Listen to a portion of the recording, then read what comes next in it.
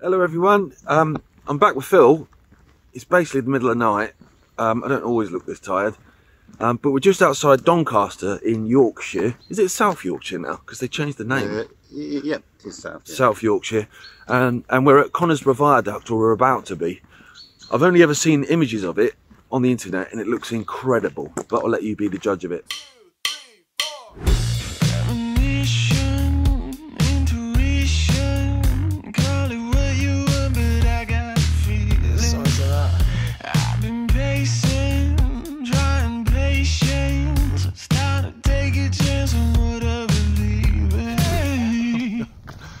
Stop meeting like this and then I've by the fifth time it's just awkward isn't it? So there's a continuation of the track bed. You can just make out some some red brick there. Um, that's a bridge but that's not the way we're going. This is random isn't it? Yeah, concrete sleepers. just left. Okay and this way to the viaduct. If you can just make that out down there. What'd you say that was? That doncaster sheffield line? Yeah. going into a tunnel underneath. There's a big big like kind of jumble of lines around here, weren't there? I was looking on on rail map and it's all different colours. Lots going on. Yeah. So we're not far off the viaduct now. Um, so it's not actually a long walk this one, but visually it's amazing. So this was part of the Dearne Valley Railway, which joined up the the the Hull and Barnsley line, which is north of here, down to the Great Northern. So it was kind of like you know a bit, a bit of a, a bit of a joining railway. Opened in 1909, which is relatively late, isn't it? Really, in terms of railway um, Yeah, railway building. so. Went in 66, as you know, so many of them did. Pretty sure I can just make it out now, actually. The Great Reveal. This is like um, Alton Towers. That's where you go if you if, if, you, if you, if you've yeah. bottled it. You don't Oh, want to go on a ride. Here we go. Can you hear that train? It's just coming out the tunnel the other side now. I've got a confession. I heard that. Phil goes, "That's the freight train. That's not a sprinter." That. So I literally started sprinting, and it's in a tunnel, so I can't film it. It's too early. I'm not awake yet.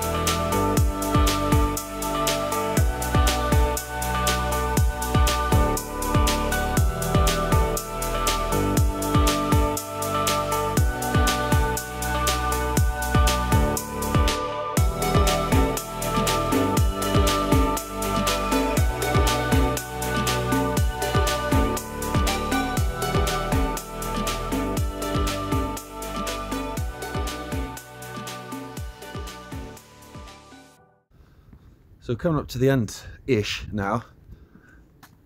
So this bit goes over the river, and as Phil was just saying, like I don't know why this bit's. But you find that though, actually. I think it's the it's the same on Bennerley when it goes over the railway. Then it's iron girder, and I don't know what the thinking is behind that.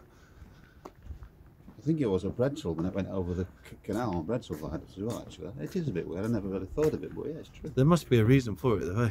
Maybe a good view for the drivers who crosses. Yeah. Yeah.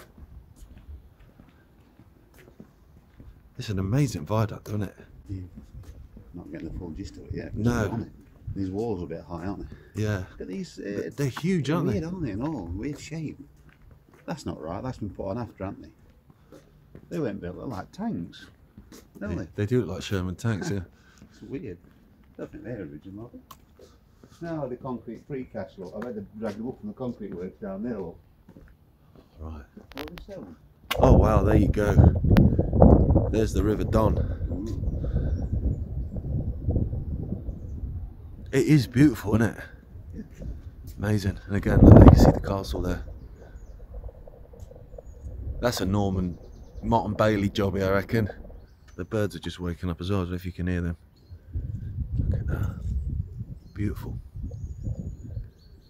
Give me the countryside feel any day over a city, mate. You make out that shopping trolley. Don't matter where you are in the world. there'll be a shopping trolley dumped in a river. This line was um, it was open to uh, passengers only till about 1951, and then it stayed open into the mid 60s with with freight.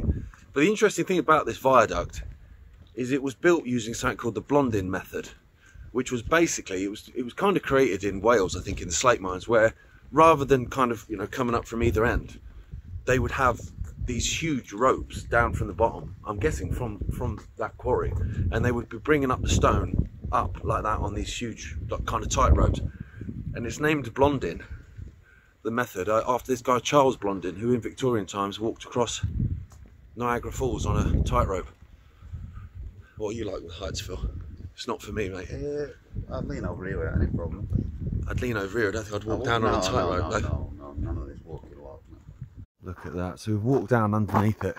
That is amazing. Wow, what a structure. I know I bang on about it, but the Victorians were just next level, weren't they? I'm saying that, see, no, 1909. All right. I'm, I'm giving I'm giving the Victorians credit they don't deserve. Mind you, they probably designed it, to be fair. There was an Act of Parliament long, long before that, so we'll give them the credit anyway. The size of it as well. So how many bricks is there? Anyone? That's what everyone always says, isn't it? Built with X amount of bricks. I'd say five to seven million. Jeez, uh, where to even begin?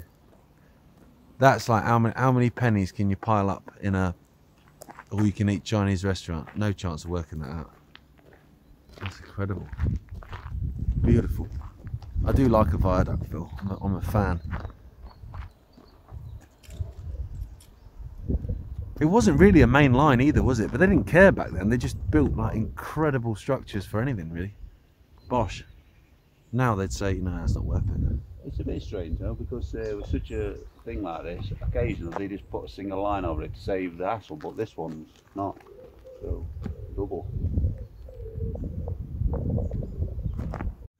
I don't know if any of you have ever watched An Idiot Abroad with Carl Pilkington. There's a bit where, where he goes to Petra in Jordan, and you've got obviously the incredible structure, and then opposite it, there's there's all these caves where these people lived literally in caves. And he's making the point that actually I'd rather not live in Petra, this amazing structure. I'd rather live in one of the caves because if, I'm living in a cave, at least I'm looking at that rather than looking at living in that and looking at a cave. I'm a bit like that here because it was nice being on the viaduct, but it's a lot better being off it. Definitely worth getting up early for this, Phil. It'll still be here if they'd got here late, I think. That's a really good point, to be fair. Yeah, we could have got here in about four hours' time, couldn't we? But where's the fun in that? Apologies for blinding you with the sun, but that's Conisbrough Viaduct. Amazing structure, definitely worth getting out of bed for. I'll turn it around so I'm not blind you. As always, thanks for watching. Midges everywhere. Um, we'll see you next time. yeah, cheers.